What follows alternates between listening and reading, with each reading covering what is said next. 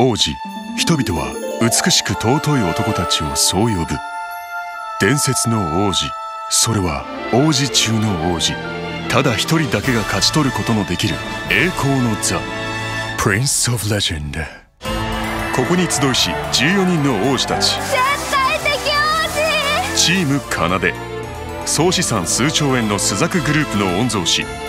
セレブ王子。スザク奏僕のプリンセスになってください。第一側近にして奏を大事に思うあまり特別な感情を抱くメガネ王子。クオン誠一郎。そして第一側近の座を虎視眈々と狙う下克上王子。冠城玄。第一側近の座を狙っています。誠一郎さんを蹴落として。下克上宣言です。第一側近は俺だ。チーム京極兄弟。ヤンキー校のトップに君臨するヤンキー王子兄。京極高人。あるんだな運命って。勝つのは俺だ。僕です。そんな兄を支えるヤンキー王子弟。京極龍。かっこいいって言葉は兄貴のためにある。サンキュー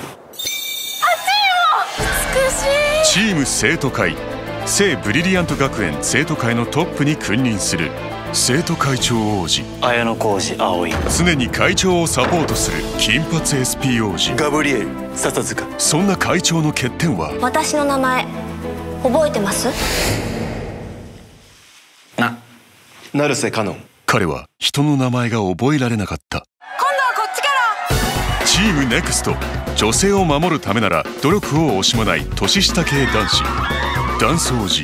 レッド。天童幸喜天然キャラゴールド。日浦海志男気あふれる。ブラック。小田島陸。守れる男になるって決めたんです。チーム先生。最強ナルシスト。I'm the prince 先生王子。結城リーチ。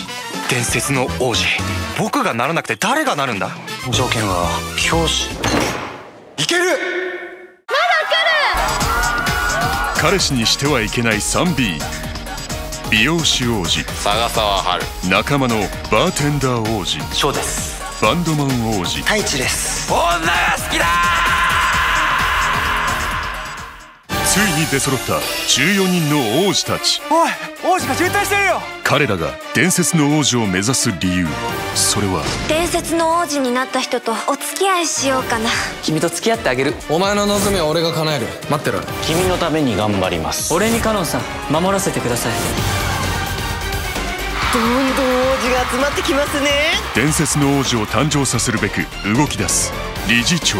実相寺光彦。理事長秘書。服部雄太史上最強の伝説の王子を誕生させたい。今年3年に一度の選手権の年ついに3代目伝説の王子が誕生する。果たして伝説の王子は誰か？3代目伝説の王子は？Prince of Legend 王子王子王子王子王子